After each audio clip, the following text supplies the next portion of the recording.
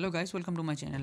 I'll show you what not to do exactly so that this calling is disabled here as it is available through the phone dialer thing comes up again. But if you haven't solved it yet then the link is in my description. You just watch that one and you can solve it by yourself. Now you can see that i already solved this problem and i have phone dialer here. And if i want i can place call with this. So it will work for the time being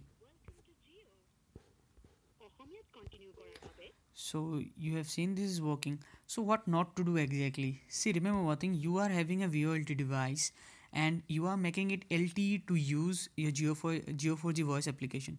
So remember one thing do not go to setting and more and then mobile networks and this enhance 4G LTE mode. So do not make it VoLTE if you make it your VoLTE and after some time this application which you are using Jio4G voice this will show you this problem that uh, you cannot call from this application. I'll show you here itself. You can see uh, it will take some time so I'm doing it directly just to show. Let me let me go to Jio4G voice application and clear the data again. And remember if I do it just register it right now since my VoLTE is already on and if I register it right now it will come again with the same problem. So let it register. So remember one thing this is the only problem you are facing. Do not uh, after solving do not switch on the VoLTE of your phone. So see this calling is disabled thing came up again. So I need to go through all the procedure again to take it away.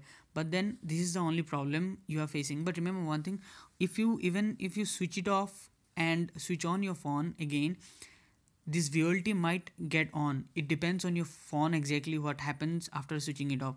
So these days you are not even switching it your phone quite regularly. So if this comes up you know how to solve it uh, right now. But then do not by mistake or by yourself do not switch on the VoLTE device.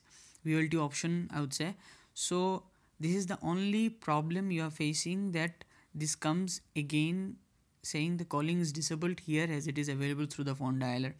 So do not make your uh, i repeat again do not make your device VoLTE again so that you face the problem. See remember one thing if you have this VoLTE option now you can use your phone dialer to make call okay? You can use phone dialer right now but then to make a video call using Jio4G voice application you cannot receive video call you you cannot place a video call. So to place a video call or to receive a video call you must have Jio 4g voice application on of a Jio so that you receive the video call. But then if your VoLTE is on it will say calling is disabled. So you should not switch on your VoLTE option. This is as simple as that and you won't face this problem again. If it helped you then do not forget to subscribe and give a thumbs up. Thanks for watching